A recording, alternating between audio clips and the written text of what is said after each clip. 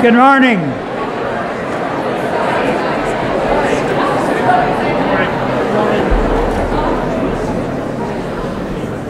Where'd y'all come from? Good night. We're glad you're here. College students must be back. Let me uh, just, for a, uh, to the college students who are not, oh, y'all waving at me? No. the, uh, if you're not wanting to come to uh, the college class and that, we need 300 of you to come to the 915 service. Can you do that? Only 300. Yeah. I think y'all can do it. I've got faith in you because you're already at Harding, so I know you can count to four or five.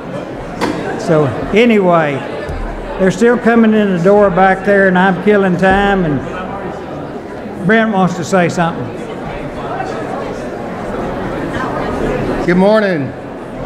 It's good to see all you guys. I told Rachel and Debbie, I said this church thing's really catching on, so that's uh, good. They thought it was funny. Y'all don't think it's funny. They thought it was funny. Um, so my name is Brent Wilson. Uh, I'm in charge of college ministry here at Highway. Um, just wanted to say a quick thank you. If I met you in the Student Center, it is awesome to meet you last week in the Student Center as the freshmen rolled through. Uh, also want to say a big thanks to uh, Heather Kemper and Jamie for getting all the supplies and everything we needed for that done. Um, and also all those that volunteered their time to, um, to help during that uh, time frame. So really appreciate all that help. I want to announce uh, class for students is going to start in the OR, which is the building across the parking lot. It's the one with the tan siding. If you're from here, you'll get that joke. If you're not, you'll catch it when you leave. But it's uh, the building across the street, or across the parking lot here. Uh, 9:30 next week. We're starting. Um, every semester, we normally have a uh, male and female intern.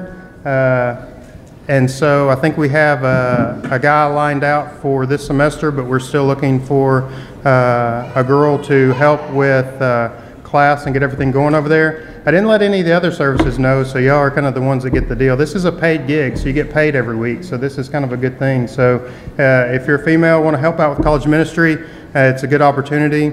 Um, also, if any of you guys uh, would like to help teach, and that's only like one Sunday or two Sundays, we have about four guys lined up now, uh, trying to get different perspectives and, and different folks over there for you to teach.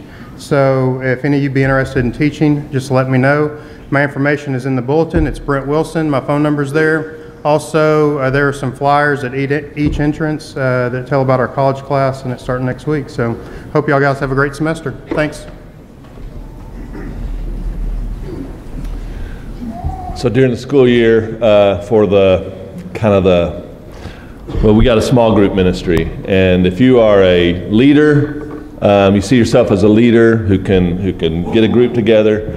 Um, meet tonight at 5 o'clock in the old auditorium. If you're a co leader, join us. If you're not quite ready to lead a small group, you don't feel like, and, uh, but, you're, but you're willing to fill in, come. Or if you're a host, if you have a home and you're willing to open up your home to have a small group uh, in your home on Sunday nights, we're going to try to kind of uh, let leaders, co-leaders, and hosts meet each other and form some new groups. We've just got a lot of people that we need to assimilate, and we don't get to know each other in these large settings like we do when we uh, come into people's homes. So, talking to kind of the uh, 22 and up crowd as far as the leaders, co-leaders, and um, hosts for these small groups that we're having on Sunday nights. Also, I want to echo what, what Bob said. We've got a pretty full crowd at our 8 o'clock service. It's kind of like modest, safe crowd. 9 o'clock is just a handful of people. Our 915, excuse me, our 915 assembly, there's just kind of a smattering of people. And we need like a big chunk of y'all to come to the 915 assembly if you're if you're not likely to go to Bible class.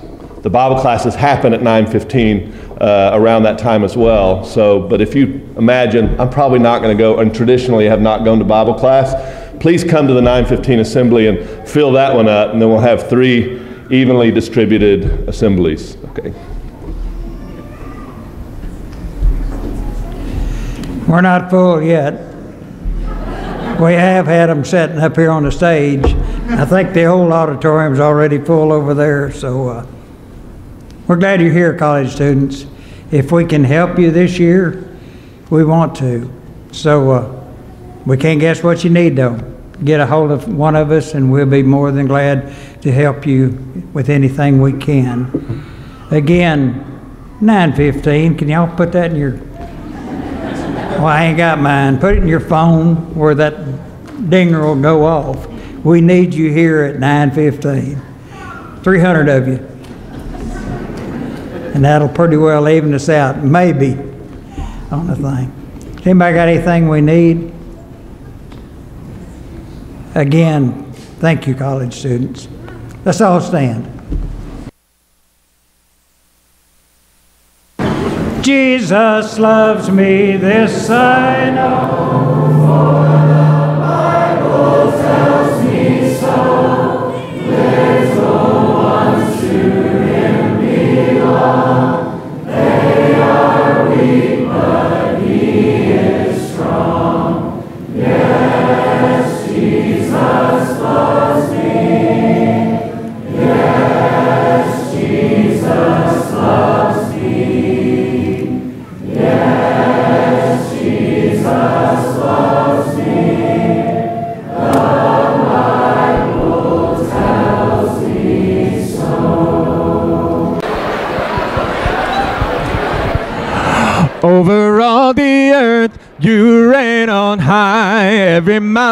Stream, sunset sky. But my one request, Lord, my only aim is that you reign in me again. Lord, reign in me, reign in your power over all my dreams.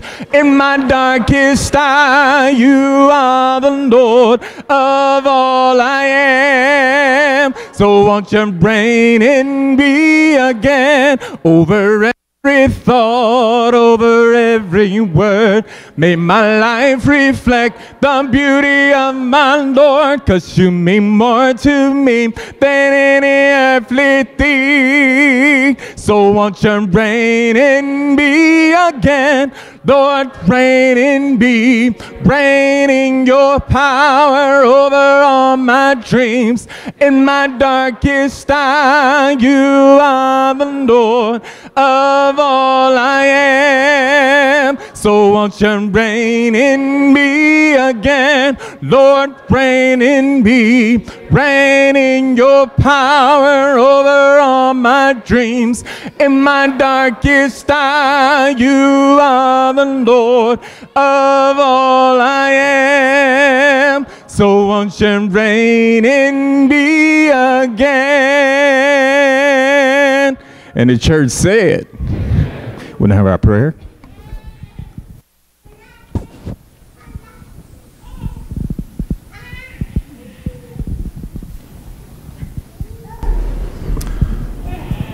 Father, we thank you for being our God and for gathering us here and for protecting us, for calling us your own, for loving us when we're not lovable, for forgiving us when we have done wrong. Father, thank you for the hope that we feel. Thank you for the faith that you have in us. You see the best version of us, and we thank you so much for that.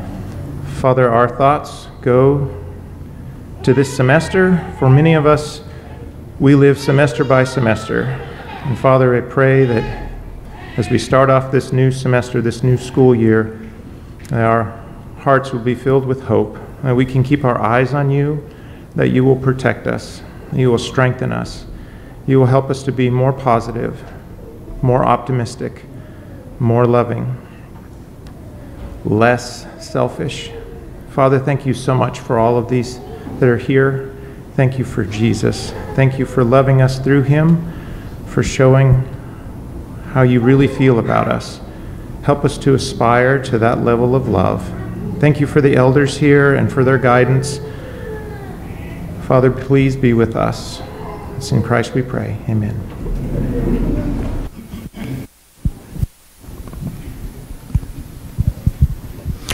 Oh, hail the power of Jesus' name. Let angels prostrate fall.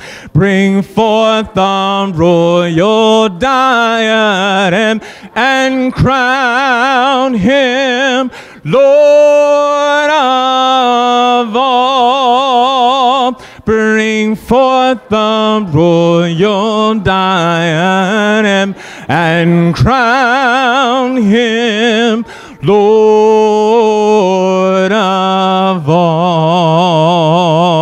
Ye chosen seed of Israel's race, year and some from the fall.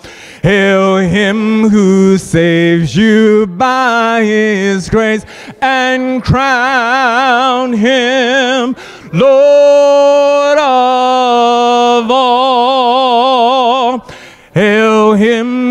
Who saves you by his grace and crown him Lord of all.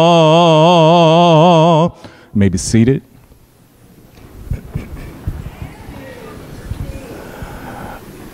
Above all powers, above all kings, above all nature and all created things,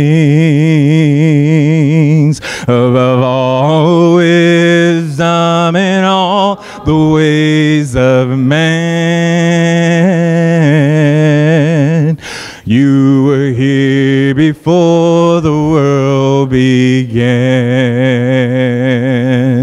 Above all kingdoms, above all thrones, above all wonders the world has ever known, above all wealth and treasures of the earth. There's no way to measure what you're worth. Crucified, laid behind the stone, you live to die neglected and alone like the rose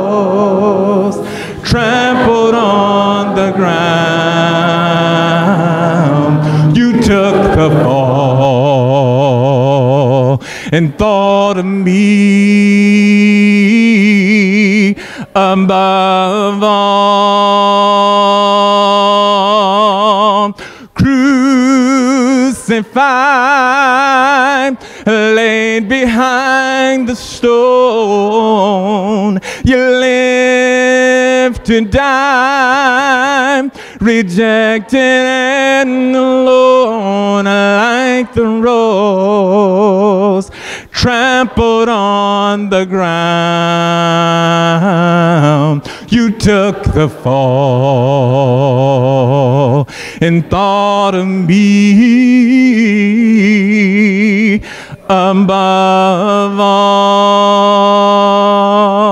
like a rose trampled on the ground. You took the fall and thought of me above all.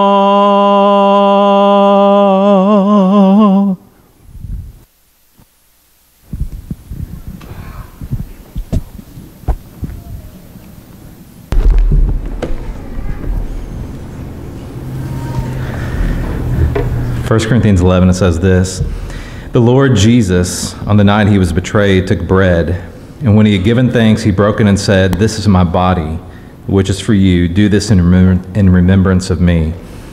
In the same way, after supper, he took the cup, saying, This cup is the new covenant in my blood. Do this whenever you drink it in remembrance of me. This is a new covenant that we are a part of as new creations in Jesus Christ.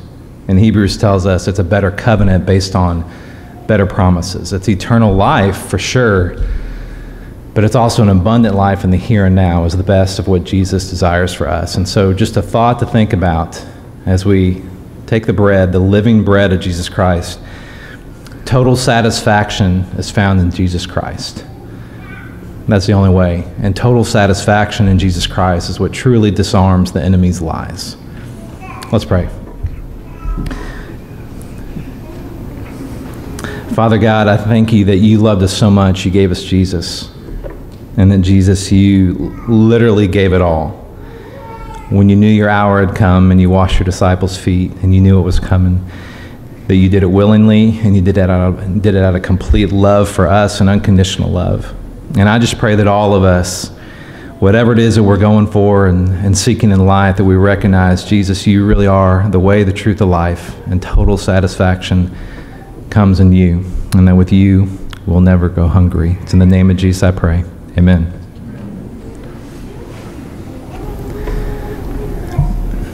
You know, when we talk about this new covenant and we think about the blood of Jesus Christ that was shed for us, you know, there's forgiveness of sins, obviously, when we come to Christ. But there's also the gift of the Holy Spirit. And his blood was shed so his spirit could live inside of you and me. And that's what will truly, truly transform us. Let me read something really quick from 2 Corinthians 3, starting in verse 16. Whenever anyone turns to the Lord, the veil is taken away. Now the Lord is a spirit, and where the spirit of the Lord is, there is freedom. And we who with unveiled faces all reflect the Lord's glory are being transformed into his likeness with ever increasing glory, which comes from the Lord who is the Spirit.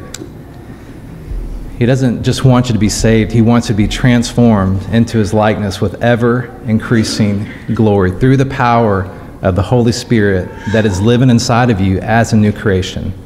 So, whatever struggle, temptation you're facing this week, what about the role of the Holy Spirit? What about the fruit of the Spirit in your life?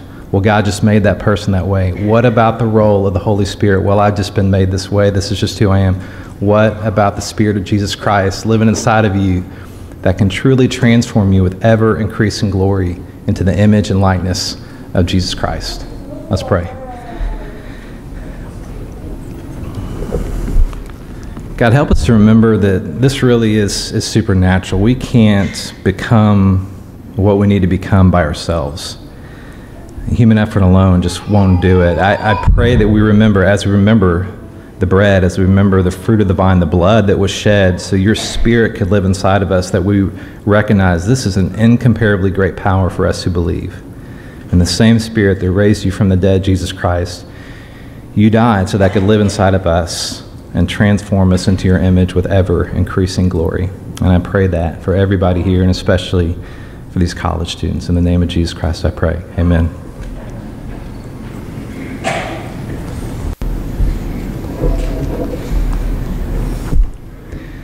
It's a lot of people to serve communion to.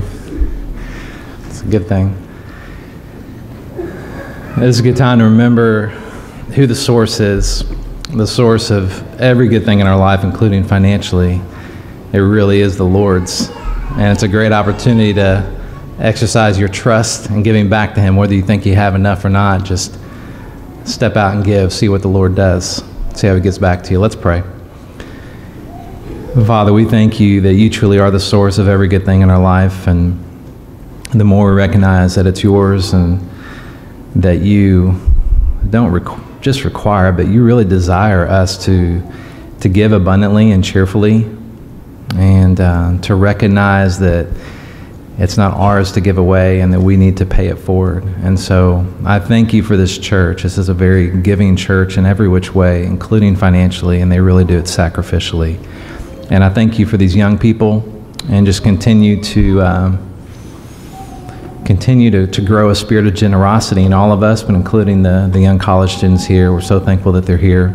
And uh, I pray that they also feel within their heart to give what they can give. I love you, Jesus Christ. And we thank you for giving everything that you have for us and doing it with a spirit of love and generosity. It's in the name of Jesus we pray. Amen. You are Lord of creation and Lord of my life, Lord of the land and the sea. You are Lord of the heavens before there was time, and Lord of all lords you will be. We bow down and we worship you, Lord. We bow down and we worship you, Lord. We bow down and we worship you, Lord. Lord of all lords you will be. You are King of creation and King of my life, King of the land and the sea. You were King of the heavens before there was time, and King of all kings you will be. We bow down and we crown you the King. We bow down and we crown you the King. We bow down and we crown you the King. King of all kings you will be.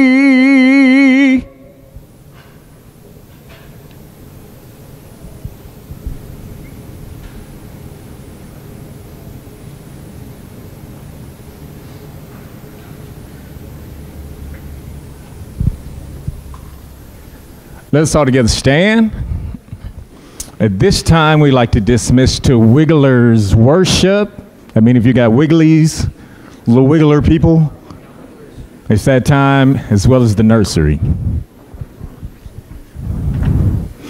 Hail Jesus, you're my King. Your life frees me to sing.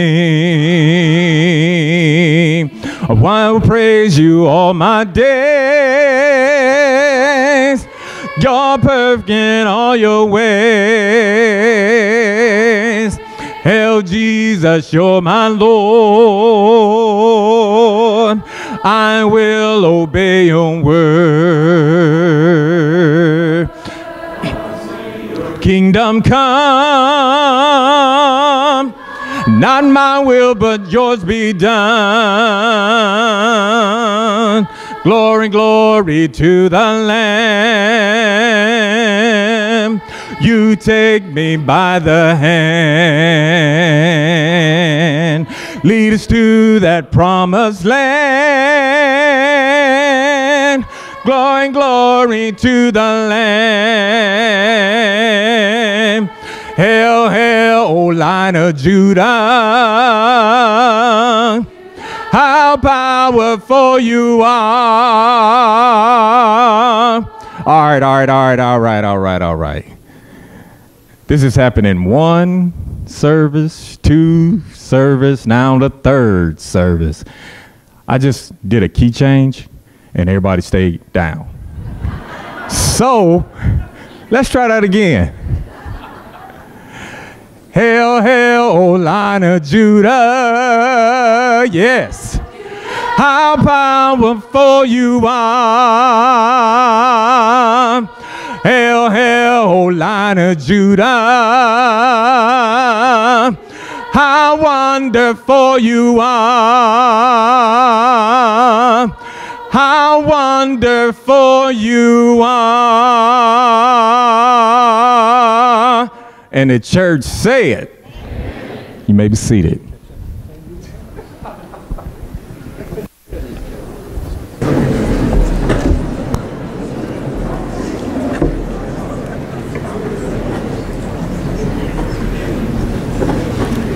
I, therefore, prisoner for the Lord, urge you walk in a manner worthy of the calling to which you've been called, with all humility and gentleness, with patience, bearing with one another in love, eager to maintain the unity of the Spirit in the bond of peace.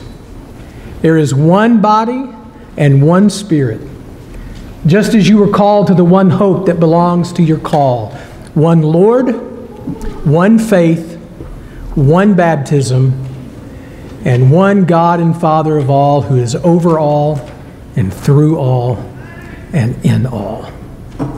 This is the word of the Lord.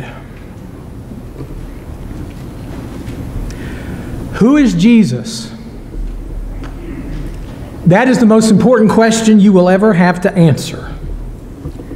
More important than do you take this woman to be your awfully wedded wife?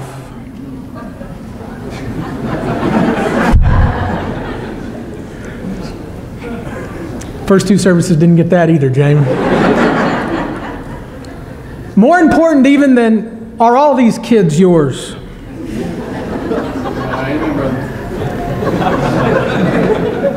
It's the most important question because it's the question that both defines your present and determines your future. In other words, how you live and how you die are both determined by how you answer this question Who is Jesus? It's not an easy question to answer because there are a lot of different opinions out there, and they are not all equal, and they are not all valid. Not even all the answers in here. Among these people who claim to know Jesus best are acceptable.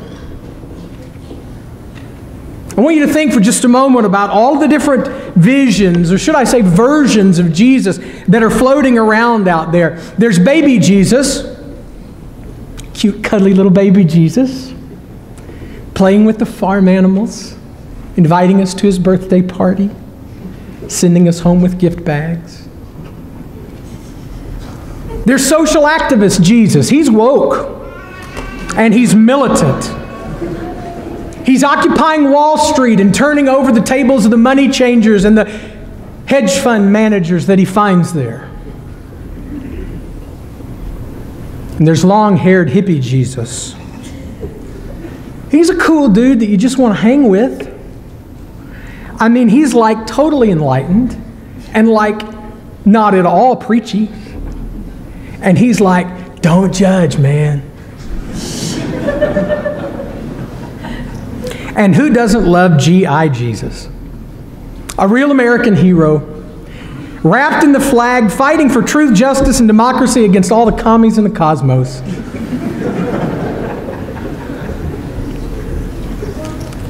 Isn't it interesting? How people created in the image of God are forever trying to create God in their image. If they believe in Jesus at all, he tends to be a very familiar figure. One who likes what they like, dislikes what they dislike. One whose beliefs and practices are totally in line with their own. But here's the deal. When it comes to Jesus, I'm not sure this kind of revisionist history will suffice. See, there's another vision or version of Jesus, one that's presented in Scripture, one that is much more accurate, and one that demands our full attention and our full allegiance. It's the one that the New Testament envisions some 700 times. It's the one that our book of Ephesians envisions at least eight times. It's the one that Paul says in Ephesians is absolutely essential to our Christian identity and our Christian unity. And that is the vision of Jesus as Lord. Lord Jesus. Who is Jesus? Jesus is Lord. And there's only one Lord. What do we mean when we say that Jesus is Lord? There are two ideas that I want you to consider, and the first is this. To confess Jesus as Lord is to express a theological conviction about Jesus. When we say Jesus is Lord, we're saying something about Jesus. The confession, Jesus is Lord, is the shortest, the simplest, and the earliest of all Christian creeds. In the first church, those people who made the confession, Jesus as Lord, were baptized into Him and were added to His church. Because Paul wrote, if you confess with your mouth that Jesus is Lord and you believe in your heart that God raised Him from the dead, you will be saved. And to the Philippians, Paul said there's coming a day when at the name of Jesus, every knee will bow in heaven and on earth and under the earth, and every tongue confess that Jesus Christ is Lord to the glory of the Father. It's a significant statement.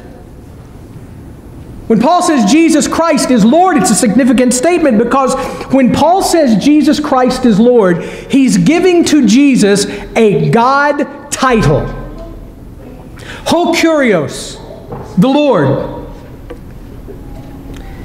When the Old Testament was translated from Hebrew into Greek, about 200 years before the time of Jesus, by Jewish scholars in Alexandria of Egypt, they did not know what to do with the holy name of God, that name that we've come to know as Yahweh or, or Jehovah. They weren't able to translate it, they weren't able to transliterate it, they weren't even able to pronounce it because the ancient Hebrews themselves did not pronounce the name. When the ancient Hebrews encountered that name in the text, they replaced it with another Hebrew word, Adonai, or the Lord. And so when the Greek translators came along and they encountered that holy name for God, they simply gave it the Greek alternative, Ho Kurios, the Lord. Some 6,000 times in the Greek version of the Old Testament, you have Ho Kurios, the Lord. And listen very carefully to me. The earliest followers of Jesus did not hesitate for a moment to give Jesus that same divine title, Ho Kurios, the Lord. Some 700 times in the New Testament, Jesus is called Ho Kurios, the Lord. To call Jesus the Lord is tantamount to saying Jesus is God. From the very earliest time, he was recognized as God, acclaimed as God, and worshiped as God. So to confess Jesus as Lord is to express a theological conviction about Him. Jesus is God. And to deny such is to put yourself outside the historic Christian faith. To deny such is to withdraw your fellowship from the historic Christian church. Jesus is God. Jesus is Lord. But there's more. This confession that Jesus is Lord is more than just a conviction about Jesus. The confession of Jesus is Lord, to confess that is to make a personal commitment to Jesus. This phrase, ho kurios, was used in secular Greek to describe people who were owners owners of lands, owners of property, owners of slaves. Because they owned those things, they had the right of control over those things. They had the right to dispose of those things. Or, in other words, those things were at their disposal. They could do with those things what they wished. Well, in the same way, the person who confesses that Jesus is Lord commits himself to Jesus' disposal. She commits herself to being under Jesus' control. To say that Jesus is Lord is to make a radical personal commitment to Jesus, and that radical personal commitment affects every area of your life. Every area of one's being comes under Jesus' control or at his disposal. And I want to pursue that idea for just a few minutes. We're looking at these things from the book of Ephesians, and I want you to notice what Ephesians says about being under Jesus' control. The first thing is this to confess Jesus as Lord, to make a personal commitment to Him, is to make an intellectual commitment to Him. Now, Ephesians is setting the parameters, so listen to what Paul says. Chapter 4. Now, this I say and testify in the Lord, you must no longer walk as the Gentiles do in the futility of their minds. They're darkened in their understanding, alienated from the life of God because of the ignorance that is in them due to their hardness of heart. They become callous and have given themselves up to sensuality, greedy to practice every kind of impurity. But that's not the way you learned Christ. Assuming that you have heard about him and were taught in him as the truth is in Jesus. To put off your old self, which belongs to your former manner of life and that is corrupt through deceitful desires, and to be renewed in the spirit of your minds To put on the new self, created after the likeness of God in true righteousness and holiness. Surely you got the emphasis in the text on the mind and the understanding and the learning and the, and the being taught. The mind is the control tower of our human personality. The mind directs the way we walk or the way we live. Yet our minds are often the last stronghold to capitulate to the Lordship of Jesus because we like to think our own thoughts. We like to form our own opinions after we've had the time to make up our own minds. And so when our own thoughts and opinions come into conflict with the teaching of Jesus, so much for Jesus. But see, Jesus claims lordship over our minds. We've not just been taught about Jesus, we've been taught by Jesus. Our Lord is a teacher, and we are His disciples. Disciples of Christ are taught by Christ, and they are, listen carefully, not at liberty to disagree with Him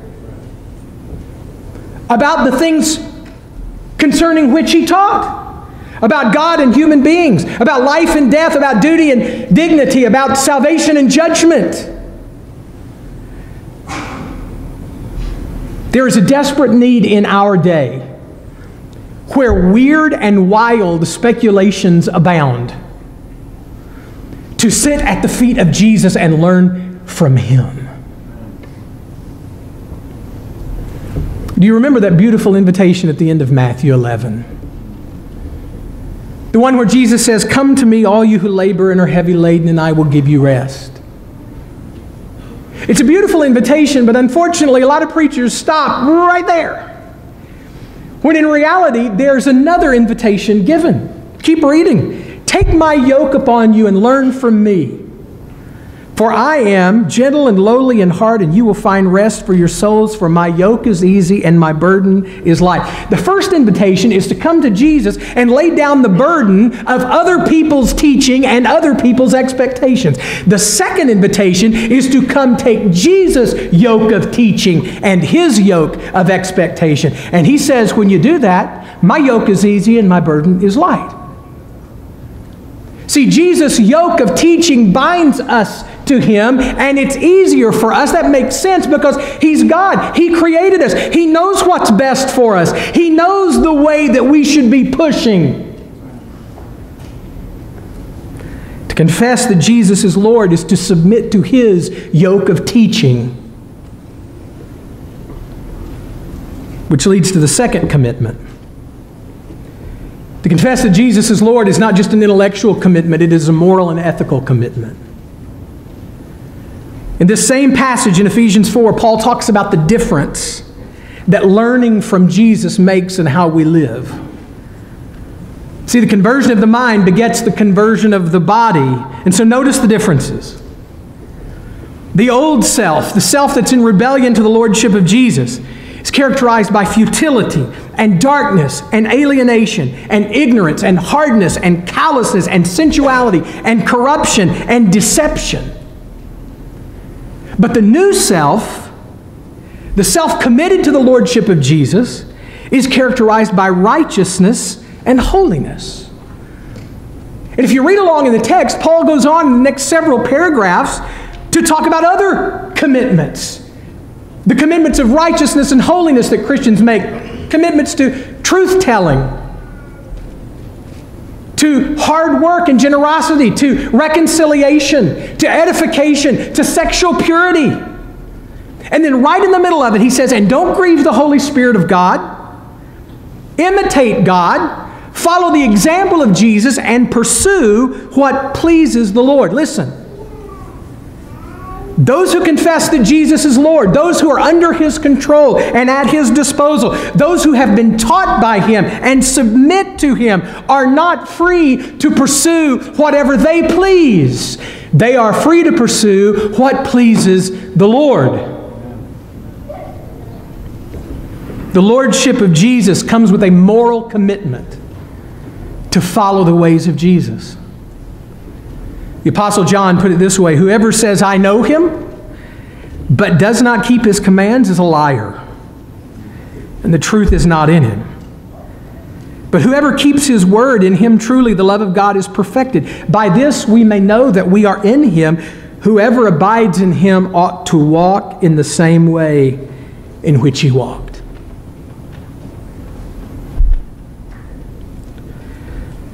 We live in an age of moral relativism. It's an age in which there are seemingly no absolutes. It's an age in which people determine for themselves what is right or wrong, and they call it living their truth. But a commitment to the Lordship of Jesus is a commitment to living His truth.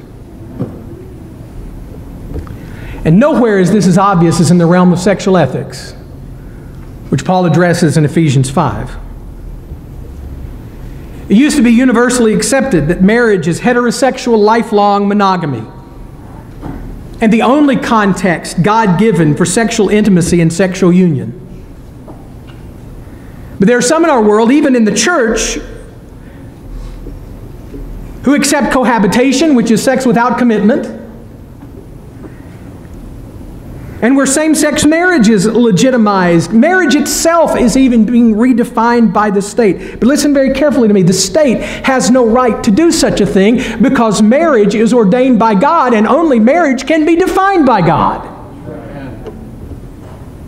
We have to have the courage to stand up for what is plainly affirmed in the teaching of our Lord Jesus about men, about women, about sex, about gender. Keep reading in Ephesians. Wives, submit to your husbands. Husbands, sacrifice for your wives. Children, obey your parents. And parents, bring your children up in the teaching and the instruction of the Lord. And all of this out of reverence for the Lord. It's often argued that Jesus never said anything about marriage or sex or gender. You haven't been listening to his teaching. Jesus said, Have you not read that he who created them from the beginning made them male and female? And he said, Therefore, a man shall leave his father and mother and hold fast to his wife, and the two shall become one flesh. So they are no longer two, but one flesh. And what therefore God has joined together, let no man separate. See, the fundamental question before the church today is who is the Lord? Who's in control? Who is the boss? Is the church the Lord of Jesus? So that the church can edit his teaching and apply them to their situation as they see fit? Or is Jesus the Lord of the church? Where what he believes and what he says to practice is what actually goes. Who's the Lord? Jesus says to us down through the centuries, Not everyone who says to me, Lord, Lord, will enter the kingdom of heaven, but the one who does the will of my Father who is in heaven. This lordship of Jesus demands our intellectual commitment, it demands our moral commitment. And in the question about control, it demands our political commitment. To confess Jesus as Lord is to make a political commitment to Jesus. The question of ultimate authority is answered unequivocally in Ephesians 1, where Paul says that God raised Jesus from the dead and seated him at his right hand in the heavenly places, far above all rule and authority and power and dominion and far above every name that is named, not only in this age, but in the one to come. And he put all things under his feet and gave him head over all things to the church, which is his body, the fullness of him who fills all in all. My students accuse me of all the time of being political. But the reality is that the lordship of Jesus is an unmistakably political claim. Jesus was condemned for both religious and political offenses. In the Jewish court, he was condemned as a blasphemer because he called himself the Son of God, but he was no son like they expected. And in the Roman court, he was condemned for sedition because he called himself a king, but Rome knew no king but Caesar.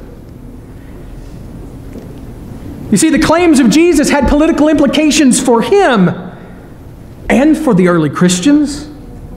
Leaders of the state have also always suffered from a little bit of megalomania. They've always believed themselves to be far more important than they actually are. Roman emperors called themselves Dominus et Deus Noster, or Lord and God. They built temples to themselves, demanded allegiance to themselves, and demanded to be lauded as Kurios Caesar, or Caesar is Lord. But the early Christians went to torture and death rather than compromise their confession that Jesus is Lord. And the same is true for disciples today. Surely you've seen what's going on in Afghanistan. Where the Taliban has a list of Christians and they're going phone by phone looking for Bible apps. The deification of the state did not end with the Roman Empire. Still today, there are totalitarian regimes on both the left and the right that demand allegiance which no Christian can ever give them. And Christians today still go to torture or death. Others are simply disappear or are canceled. I understand that Christians are called to respect and submission. Romans 13 is in my Bible too. But we will not worship the state. We will not put all of our hopes or any of our hopes in the state.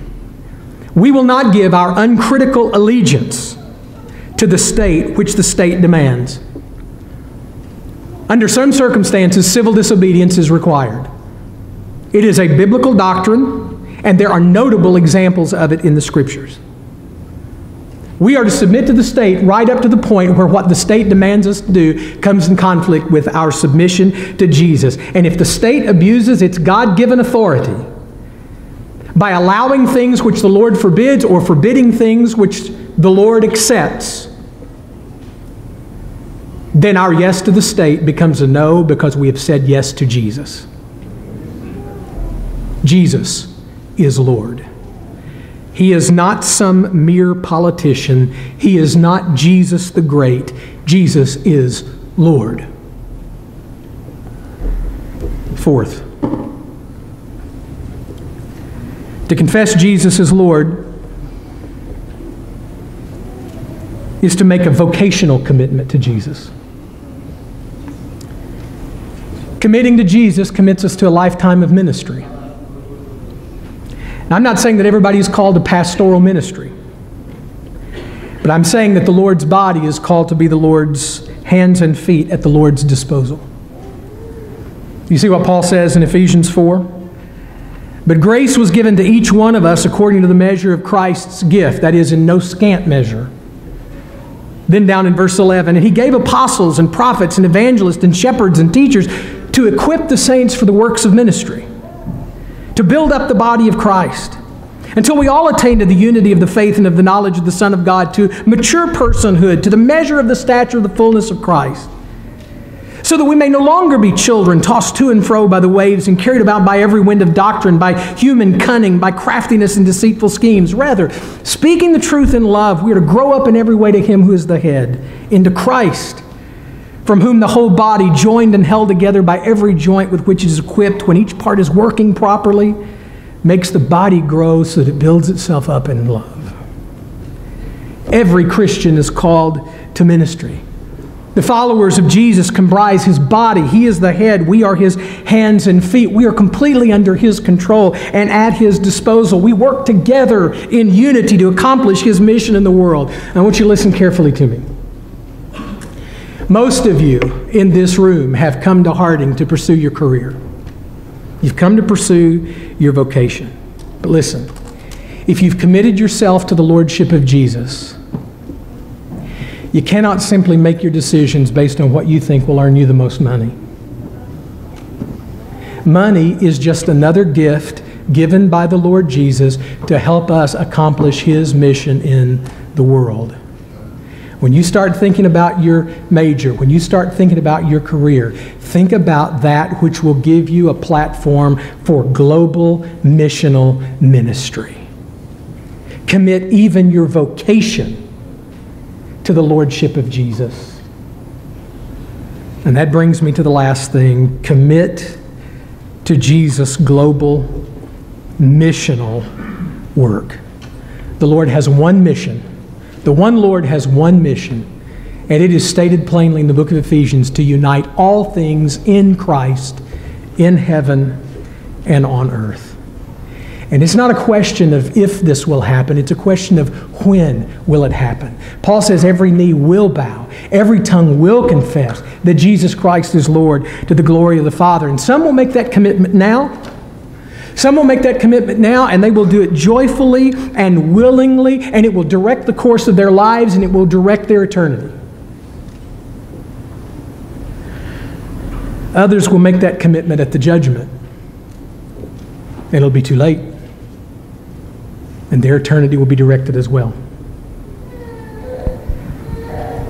Those of us who understand who the Lord is and what He is doing, those of us who are called into the global mission of the King, know that we must be about bringing back His sons and daughters, rescuing them from this dominion of darkness and death, and bringing them under His dominion of light and life. Who is Jesus? Jesus is Lord and there is only one Lord.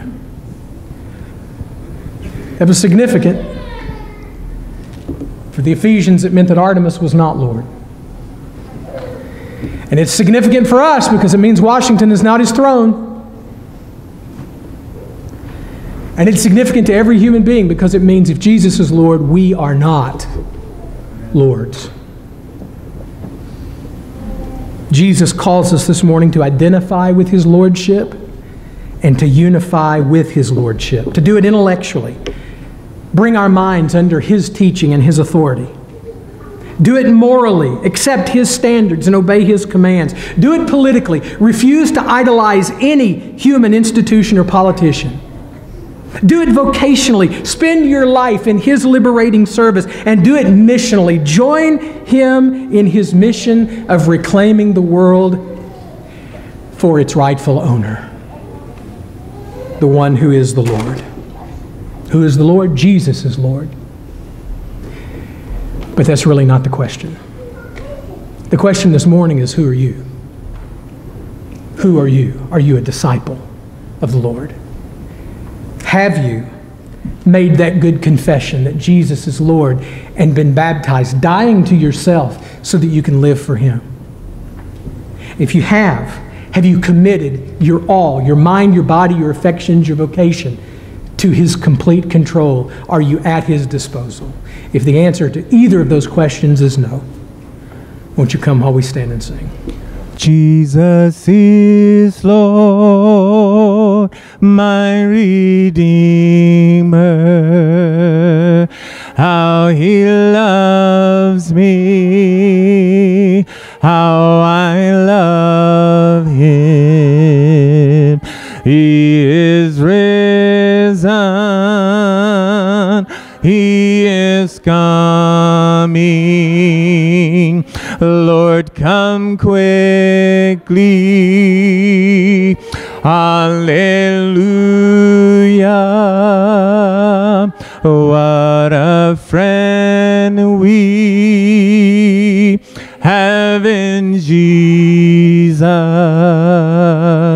All our sins and griefs to bear.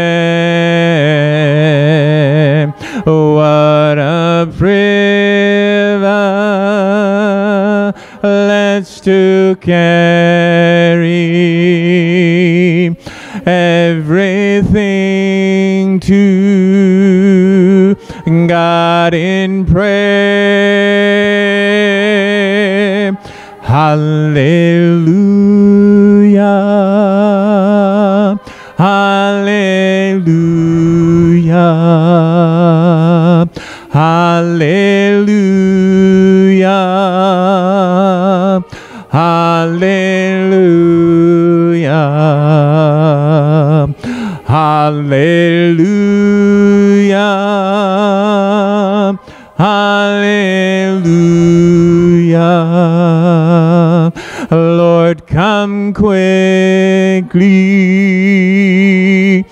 Hallelujah.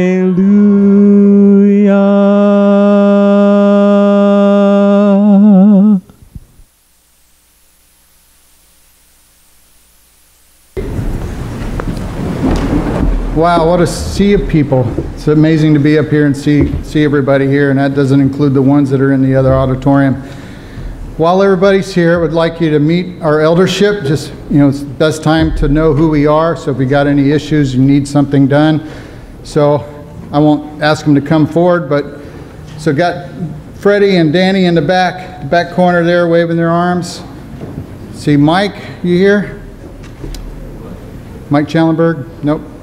Bobby, he was the one that started the service off in the green shirt, which I see his spot's empty, so he's running around here somewhere. Shannon's up on the stairwell in the back. And Jerry Neal, is Jerry here? And Scott did the announcements this morning with uh, being uh, a, a small group leader. So Scott's still here? Anyway. And myself, I'm Dana, by the way. So anyway, that's who we are. And Harding, or Harding, Highway does several great things. I work there, so by the way. Uh, they, uh, you know, Highway, we do a Christmas packing thing once a year for Smiles, and that's a great opportunity. And this is, is too. And I love to do this. So if you're visiting with us, would you please stand up? First time here. Everybody, come on. Just to know, thank you all for coming.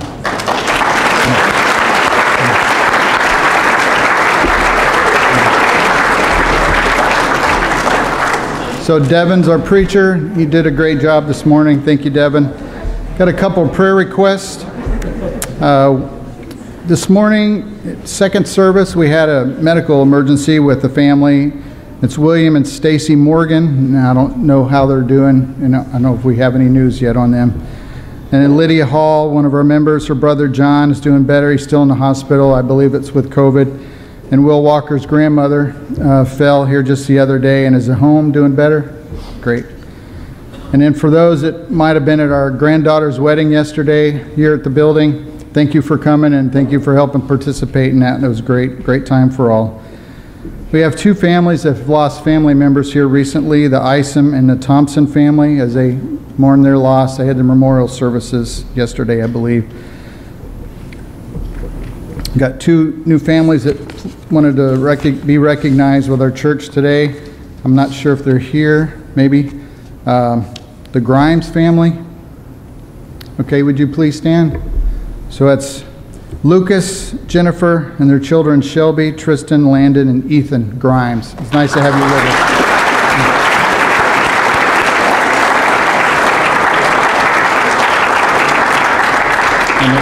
The Glover family this morning, it's Will, Becky, Hallie Ann, and Bo. So that's some other new, new family members. And now we have to have an exit strategy. It took, it took 30 minutes to get in here. We can't leave in the same time. So if you're in a chair, when we stand or when we get ready to leave, would you stack your chairs the best you can along your aisle and let the people in the chairs leave first because all the exits in the back are pretty well closed off. So we'll let them leave first. So just stand where you are. Same with the groups over here in the chairs and up here in the front. And then the ones in the pews we can let. So just visit with your neighbors for a minute. So let's bow, please, as we're dismissed. Mighty Father, it's been a great day to be here. We thank you so much for the opportunity to serve those here at, at Highway. Father, we thank you for the, the new visitors that, that came, and Father, for those that return, we're glad that they're back. Father, give this, continue to give this congregation the, the resources we need to do what we do here with, with those and with all the other missions we have with our Nicaragua missions and our local community efforts. Father, we're so thankful for the leadership here, those that have dedicated their lives to serving you. Father, we thank you for the teachers and those um, deacons that serve all the education sides of things and the physical needs here at Highway. Father, we ask overall, Father, you give us the strength to stand up for you, and as Devin talked about this morning, to give us, give, give the Lord, give Jesus our all. Everything that we have is yours. Father, use us, and Father, help us to be those hands and feet that you mentioned, that we can serve in any capacity, anywhere, at any time. And Father, it's just amazing having a church family that's worldwide. That it'd be so awesome to see everybody in one place. But Father, we just, it's grateful to know that we have people all over the world, even in, in Afghanistan right now, Father. Father, we thank you for all that you give us and all that you do. And we ask this blessing this morning in your name. Amen.